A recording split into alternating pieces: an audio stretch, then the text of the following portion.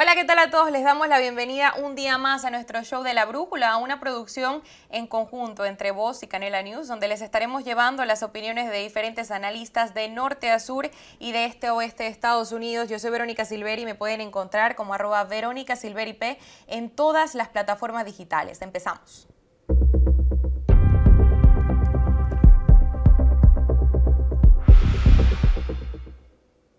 Y hoy vamos con esto, ya estamos en cuenta regresiva, un mes y cinco días para las elecciones, los candidatos están en sus respectivas campañas. Trump buscando conseguir el apoyo en estados como Pensilvania y Harris, visitando por segunda vez en casi cuatro años la frontera. Justo este punto es uno por los que más ha sido criticada el actual vicepresidente, ya que durante esta administración se estima que la entrada de inmigrantes ilegales ya pasa los 10 millones. Según Newsys, tienen alrededor de 10,9 millones de solicitudes pendientes para presentaciones y el tema migratorio se encuentra en los tres puntos más importantes para estas elecciones. Para analizar este interesante asunto nos acompañan desde el estudio Jorge Galicia, analista político conservador, bienvenido. Tenemos también desde Nueva York y a la distancia el conocido Luis Montes Amaya y para darle el punto de vista periodístico. Tenemos a Galo Arellano, periodista, reportero, multimedia journalist de Canela News. Bienvenidos. Muchísimas gracias. Gracias por la invitación. Luis, bienvenido a ti también, que ya, ya has estado en, oportunidades con nosotros. Y, Galo, voy a, empezar contigo porque tú estuviste en la frontera, ¿no? Estuviste cubriendo la, la crisis migratoria.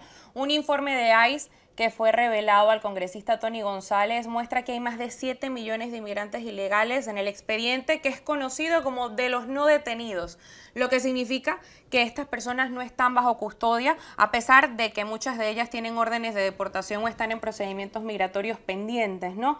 Dentro de este grupo, y creo que es importante enfatizar en esto, la cifra que más alarma ha generado es de 662.566 inmigrantes ilegales con antecedentes penales. De estos, 425.400 ya han sido condenados por diversos delitos. Otros 220.000 tienen cargos penales pendientes. Eh, ¿Qué nos puedes decir sobre, sobre este informe? Bueno, a eso tendríamos que sumarle los 10 millones de migrantes que se prevé estarán deambulando por toda Latinoamérica para 2025 debido a la crisis de la dictadura venezolana son cifras realmente escalofriantes. Pero algo que sí quiero yo recalcar es de que el tema migratorio está siendo un tema espinoso. ¿Y por qué? Porque creo que se está llevando también a la migración de una manera muy política. Es decir, se está utilizando este asunto como una arma política. ¿De qué razón?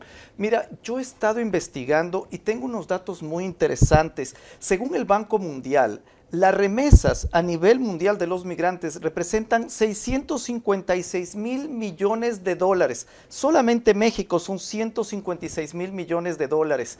Y de eso, por ejemplo, ¿Tú crees que un gobierno latinoamericano va a renunciar a este tipo de ingresos que representa para el gobierno incluso la mayor parte o la segunda entrada, incluso a veces hasta mayor que las propias importaciones de todo el país? Para México, por ejemplo, sería 66 eh, mil millones de dólares que representa el 3.5 de su Producto Interno Bruto. ¿A qué me refiero esto? Que según el Pew Research, el voto latino está creciendo por lo menos en un 14.3%. Es el voto de mayor crecimiento, es el segundo en los Estados Unidos después del voto blanco, incluso más que el voto afroamericano. Entonces, para un partido político, el voto de los migrantes es muy importante y sobre todo en los estados claves podría definir las elecciones. Es por eso que resulta curioso, por ejemplo, la gran cantidad de migrantes que han dejado y yo creo que es muy lógico pensar o sospechar de que existe algún tipo de, de plan para lograr concretar, porque mira, yo soy una persona homosexual y cuando yo logré casarme con mi esposo, yo estuve muy agradecido con el presidente Obama, porque fue en ese gobierno donde se lograron estas cosas. Cuando tú logras cambiar la vida de una persona con este tipo de situaciones, cuando tú, por ejemplo, le puedes entregar la residencia o le puedes dar una puerta a la ciudadanía, le estás dando libertad. y eso obviamente se agradece como con el voto. Exactamente, por eso también es, es, un arma de doble filo, ¿no? Luis, como demócrata, ¿crees que este informe perjudique aún más a la campaña de, de Harris. Ella habló de crear una reforma migratoria y también de dar amnistía a los que están dentro de, Estados Unidos, por lo menos a los que tienen mucho tiempo. ¿Qué nos puedes decir sobre esto? Y sigo un poco más con los, con los datos del informe también, ¿no? Eh, entre todos los, los, condenados destacan 62 mil por asalto, 14 mil por robo, 13 mil ilegales condenados por homicidio, 15 mil por agresión sexual y son datos de ICE, ¿no? No lo ha sacado ninguna fundación, no lo ha sacado, o sea, son datos oficiales. ¿Qué, qué nos puedes decir sobre esto? Definitivamente, Verónica, lo que te faltó decir es el rango de tiempo. Esto eh, pertenece a más de una década y eso creo que ahí es lo importante. Esto incluso son personas que entraron durante el tiempo de Trump y que si tú lo ves, entonces es básicamente la suma, es el agregado de lo que estamos hablando. Y eso es perfecto, es, es básicamente son números, son estadísticas eh, muy importantes que lastimosamente, eh, ¿verdad? Administraciones tras administraciones republicanas y... Pretende dar amnistía a muchos, Luis entonces eh, no han logrado, no, han logrado, básicamente no se ha logrado. Esto es un tema que está quebrado. El sistema eh, migratorio en Estados Unidos está quebrado desde 1986, eh, ¿verdad? Que fue básicamente la, esa reforma integral de migración que, que, resultó de 1986. No ha habido ningún otro proceso similar a este. Han habido intentos, han habido dos, tres intentos bastante importantes, incluso el que vimos hace dos, dos tres, cuatro meses atrás, pero en realidad esto, eh, ¿verdad? Es, es parte del, del, sistema, es parte de la, de la, de la frustración de muchos, eh, ¿verdad? Eh, que no se ha logrado componer. Y en ese sentido, ¿verdad? ver eso como, como esto, también hay un parte, parte hay un, hay un, hay un sofismo importante en ese, en ese razonamiento de que la gente que entra, ¿verdad? Va a votar. Es completamente falso. Primero, hay gente que no tiene ningún ninguna oportunidad de serse ciudadano. Y eso es mm. precisamente parte del problema. Entonces, cuando la gente eh, no puede ser ciudadano, simplemente no puede votar. Entonces, es, es, parte, es parte del problema. O sea, sí, la gente está aquí, a todos, eh, ¿verdad? Particularmente los, los, las empresas eh, hacen uso de esa mano de obra, que de, lo contrario no se es, ¿verdad? particularmente en estados donde el, el, la, el es importante ¿verdad? Y, la, y la, también la producción, eh, ¿verdad? Eh, industrial. Entonces, esta gente emplea a esta... A esta eh, Jorge, Jorge parece, parece no estar de acuerdo con tu opinión. ¿Cuál es tu opinión sobre lo que estaba diciendo Luis y, y sobre, sobre el informe, Jorge? Mira, si mal no recuerdo, justo ayer se salió una noticia donde el gobernador Gavin Newsom de California firmó eh, una ley que básicamente le prohíbe a las autoridades de California eh, verificar si los votantes realmente tienen eh, la ciudadanía y tienen los papeles en orden para ejercer ese derecho. Yo creo que aquí el tema de la migración pues es, realmente muy lamentable. Vimos ya durante la administración de Donald Trump cómo con políticas pues fuertes, con una retórica bastante clara por parte del presidente Trump, como la los, cruces fronterizos pues descendieron dramáticamente, fueron unos cuatro años donde eh, los cruces ilegales estaban bastante bajos y ahora vemos el contraste con, esta, con la administración de Joe Biden y sobre todo bajo la supervisión de, de la vicepresidenta Kamala Harris, como esos números, pues lamentándolo mucho, se han disparado. Y no, no me malentiendan, yo obviamente yo soy migrante también, yo quiero que las personas puedan venir, pero quiero que lo hagan de una manera legal no quiero que esto represente un, riesgo a la seguridad nacional de los Estados Unidos, porque eso es lo que está pasando. Vemos malandros, gente mala del, tren de Aragua y de otras organizaciones criminales que están haciendo presencia en los Estados Unidos por culpa de la debilidad fronteriza de esta, administración. Vamos a ver una pausa, Jorge, disculpa que te interrumpe y ya volvemos y seguimos, por supuesto, con, con tu palabra. Nuestra audiencia, una pausa, ya volvemos.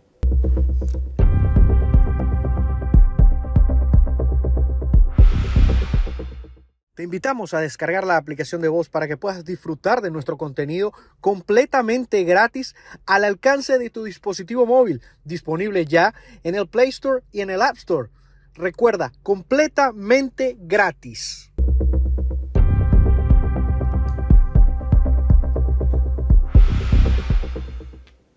Ya estamos de regreso, Jorge. Eh, estábamos en, tu turno de palabra, ¿no? Estabas hablando sobre las bandas criminales como el, tren de Aragua que ingresan pues por la frontera sur y también se aprovechan de, muchos de estos procedimientos que, que tiene el, gobierno para, para, pues, para poder acogerse y, lograr trabajar en, en, este país, pero sin embargo siguen haciendo sus actividades ilegales, ¿no?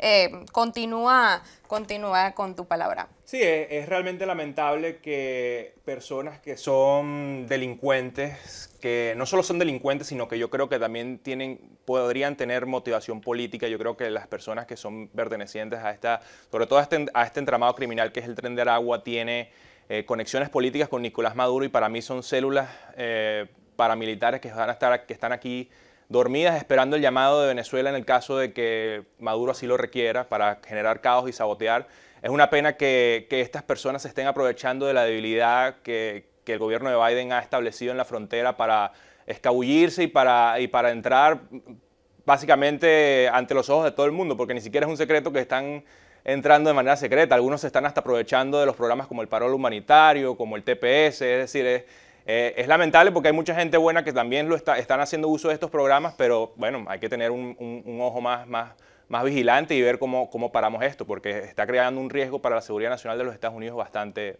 complicado. Ahora seguimos con, con, más tema fronterizo y es que después de la visita de la vicepresidenta a la frontera en Arizona, Harris aseguró que gestionó eh, presupuesto para el aumento de salario, para cubrir los costos extra de, los funcionarios de labor del patrón. La Unión de Labor del Patrón posteó en su cuenta oficial de la red y señalaron, y aquí vamos a, ver la, la, cita textual, vamos a ver ahora el, el tuit en pantalla. Hoy la vicepresidenta Harris afirmó que jugó un papel en el aumento del pago de las horas extra de los agentes de la patrulla fronteriza. Esto no podría estar más lejos de la verdad, como sucede con todas las cosas relacionadas con la frontera. No la encontramos por ningún lado cuando la necesitamos. También agregaron, y tenemos otro tuit para respaldar esta declaración, la vicepresidenta Harris afirmó en Arizona que la CBP necesitaba más recursos. Hemos detenido a más de 8 millones de inmigrantes ilegales en los últimos cuatro años y ahora nos damos cuenta de que necesitamos más ayuda 38 días antes de las elecciones como periodista, ¿crees que, se tiene que tomar en cuenta este tipo de comunicaciones de, de labor del patrón? ¿Afecta o no afecta a las campañas? Claro que sí, pero hay que tomar en cuenta algo. Hasta ahora el Partido Republicano, ninguno de sus candidatos, ya sea a gobernadores, ni el propio presidente o los senadores, han dicho cómo piensan hacer este plan de deportación masiva. Según lo que yo he podido recolectar información, este plan no es realizable y eso también es jugar con las propuestas que se hacen en campaña. ¿Por qué razón? Porque para de poder deportar a 10 millones en cuatro años, tú tienes que arrestar por lo menos a 120, 130 mil personas diarias. ¿Cómo vas a hacer? ¿Vas a cerrar un coliseo, por ejemplo, en un concierto y vas a arrestar a todo el mundo que se encuentra al interior? ¿Va a haber redadas dentro de fábricas? Aparte de eso, ya hemos visto que muchas veces cuando ya se entera la gente que está dentro de, una, de un lugar que va, donde eh, entra eh, el servicio de inmigración, la gente comienza a saltar por las ventanas. La gente ha muerto ahogada en ríos, sobre todo en lugares de invierno. Y por ejemplo, la deportación masiva es de un lado, ¿no? De, pero ¿cuál es la propuesta que hay del lado de Harris para toda nuestra audiencia para poder pues controlar? Porque sin duda alguna hay algo que no se puede negar y es que los datos eh, alertan que hay una crisis, ¿no? ¿Cuál es la propuesta para, para poder controlarla? Se debe, obviamente, eh, controlar más la entrada, pero el ofrecimiento de una deportación masiva de 10 millones no es realizable, porque el momento en que los padres de familia, en que la gente comienza a llorar porque sus hijos, los estadounidenses están casados con indocumentados, los indocumentados con, gente que está eh, con documentos, el momento de que comience esa separación familiar, vas a ver que eso eh, va a haber un problema social muy grande y al fin de cuentas va a dar pie atrás el gobierno de Donald Trump. Entonces, ese ofrecimiento de campaña real una, eh, en la magnitud como lo está manifestando Donald Trump, según he podido leer incluso editoriales de Wall Street Journal, de New York Times, no es realizable. Luis, ¿qué nos puedes decir tú sobre esto? ¿no? Y, agrego, ¿no crees que los demócratas quieran el, apoyo de, labor del patrón en, la campaña, siendo ellos los que, los que más proponen que se deben hacer arreglos migratorios, aunque no sabemos qué tipo de arreglos migratorios? Bueno, como lo decía Galo, creo que eso es muy importante remarcar es un, es un, ¿verdad? Es una fantasía lo que ha propuesto Trump. De hecho, él tuvo la oportunidad cuatro años y no hizo absolutamente nada. De hecho, el récord en términos eh, migratorios es mucho mejor el de Obama, eh, ¿verdad? En, términos conservadores, que el de mismo, el mismo Trump. Eh, y entonces esto lo, lo, que genera es simplemente una, básicamente una retórica vacía que, no, que es inalcanzable. No, no hay los recursos necesarios para eso. Eh, con, con, referente al, al, endorsement, eh, ¿verdad? De, de, la, de, la, de la Unión, eh, las uniones normalmente de law enforcement, de, de, seguridad pública, tienden a ser republicanas y esto es normal, ¿verdad? A las policías, la, las PBA, eh, ¿verdad? Y todo esto. Entonces, eso no, no quita el sueño, esto es algo más, eh, ¿verdad? De, de una voz más en el, en el espectro político, eh, ¿verdad? Pero lo que sí es importante es remarcar lo que decía Galo, esa, que son planes inalcanzables, son planes básicamente construidos en la fantasía que no tienen ningún sentido y que simplemente lo que buscan hacer es exacerbar emociones, unas emociones oscuras curas del, ser humano precisamente para, eh, ¿verdad?, eh, generar esa, ese, eh, esa anger, ese, esa, básicamente, ese enojo en el, en el votante para movilizarlo, ¿verdad?, a votar. Eh, imagínate qué ridículo sería eh, poder decir que solo porque el tren de Aragua está aquí, como decían antes de los salvadoreños, que por la MS, que todos los salvadoreños deberían de ser reportados, o todos los mexicanos, como decían antes, por la cuestión de las drogas. Entonces, es ridículo, es, es simplemente eh, jugar a esa, a, esa, a esa base, esa base con sentimientos oscuros, xenofóbica, que no tiene mayor sentido. Al contrario, en lugar de eso, sí hay que ponerla ¿verdad? Hay que ponerle mano dura a esos criminales que están, pero no solo por eso vas a poder globalizar y vas a poder eh, básicamente hacer un argumento en contra de, una, eh, de un grupo, eh, ¿verdad? Étnico, ¿verdad? de una manera ridícula y una manera... el, tiempo, el, tiempo, el tiempo es corto, Luis. Jorge, ¿qué significa que la Unión del Borde del Patrol haga, haga estos comunicados? Y por supuesto también puedes darle la, la, réplica tanto a Luis como a Galo, como lo consideres. Adelante. No, yo, yo básicamente, la verdad que yo sí estoy de acuerdo que hacer una deportación de 10 millones de inmigrantes probablemente sea completamente inviable y tampoco creo que sea deseable. Quizás eso es un punto donde no, no, tengo mayor coincidencia con el ala más radical del Partido Republicano, pero no creo que el Partido Republicano esté apuntando a eso. Yo creo que el Partido Republicano está apuntando a deportar, por lo menos en los primeros años, enfocarnos en deportar a todos esos criminales que están eh, haciendo lo malo aquí en Estados Unidos, a todas esas personas que ni siquiera se han integrado a la fuerza laboral y que están viviendo del welfare de los estadounidenses, que están eh, hospedados de por vida en un hotel ahí en New York o que están buscando la manera de simplemente parasitar del sistema. Yo creo que si nos enfocamos en todas esas personas que culturalmente no se han adaptado, que sencillamente son criminales y que no, no tienen las mejores intenciones para Estados Unidos, pues podemos eh, la propuesta pasa a ser mucho más viable. Ya después podemos tener una conversación sobre qué hacer con esas personas que de repente cruzaron ilegalmente en algún momento, pero tienen décadas aquí viviendo de manera pacífica. Bueno, podríamos buscar algún mecanismo después de que se, asegure la frontera, porque no puede ser que le regularicemos la vida a un montón de gente mientras la frontera sigue siendo un pasadizo para básicamente cualquier persona que quiera entrar, ¿no? Nos vamos a una pausa comercial. Les recordamos, nuestras redes sociales están a su disposición para que usted comente y nos diga qué opina sobre este tema tan importante y tan clave para las elecciones como lo es la inmigración y este punto específico que estamos tocando que es la inmigración ilegal. Nos vamos a una pausa y ya volvemos. Siga con nosotros.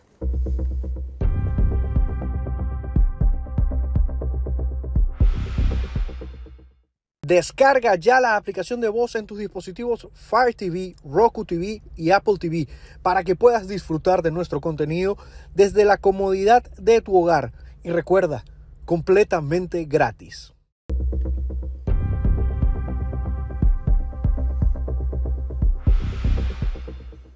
Ya estamos de regreso y sabemos que el tiempo se nos hace corto y queremos que la audiencia de Voz y Canela obtenga la mejor información gracias a nuestros datos y a la colaboración de nuestros analistas, para que si aún no están claros puedan ver bien todas las propuestas y saber a quién votar, a quien usted considere su mejor opción.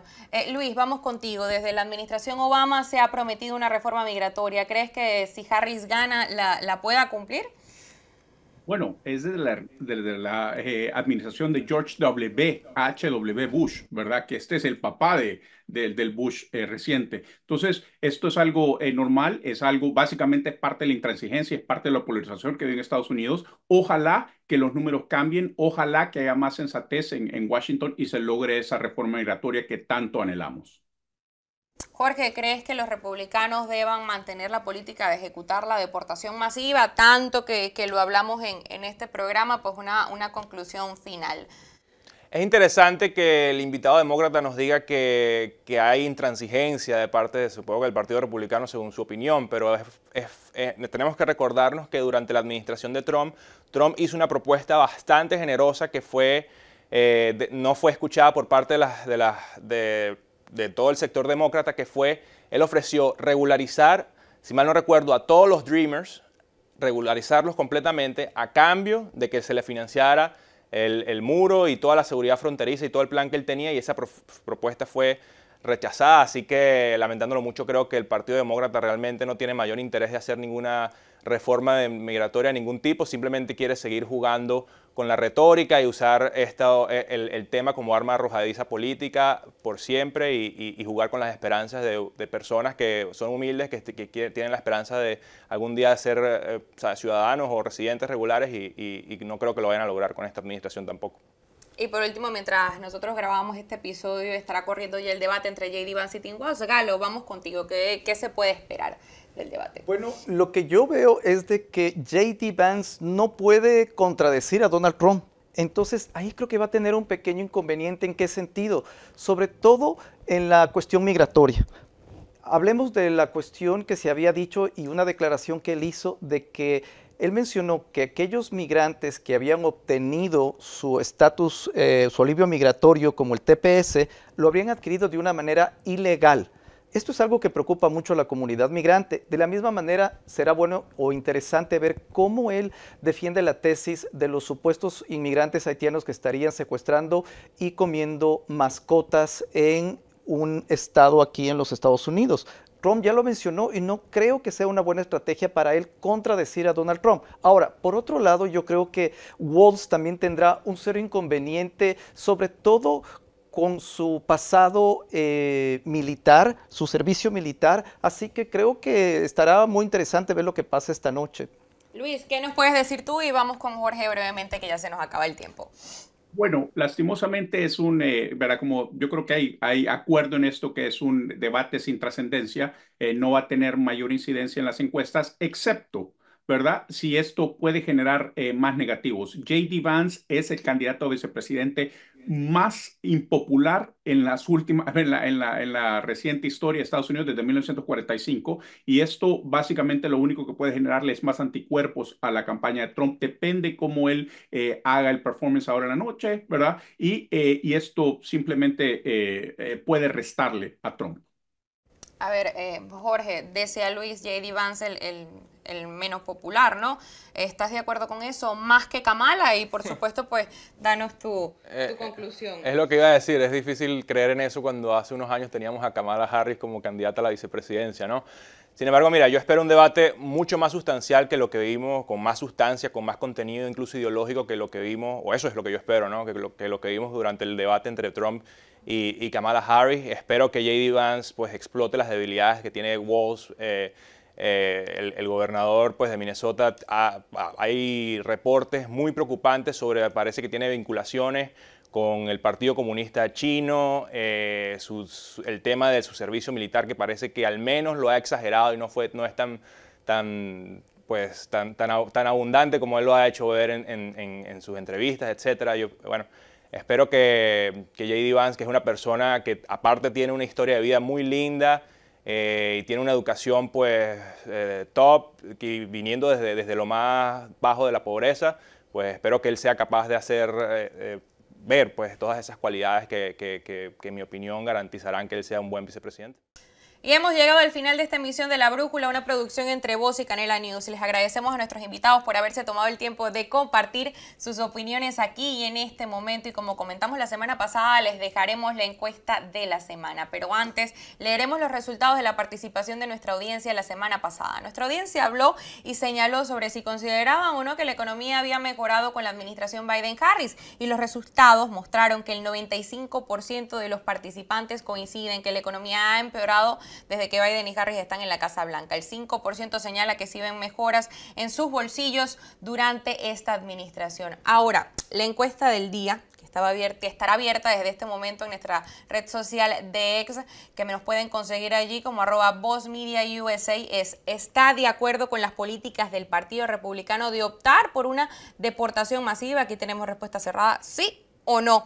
No se olvide de suscribirse a nuestro canal de YouTube y también a descargar la app de voz en su App Store y Play Store para su dispositivo Apple o Android. Los invitamos también a descargar la app de voz en Roku TV, Apple TV y Fire TV para que disfruten nuestro contenido desde la comodidad de su hogar. Yo soy Verónica Silverio, un gusto acompañarlos. Hasta la próxima semana. Te invitamos a descargar la aplicación de voz para que puedas disfrutar de nuestro contenido completamente gratis al alcance de tu dispositivo móvil, disponible ya en el Play Store y en el App Store.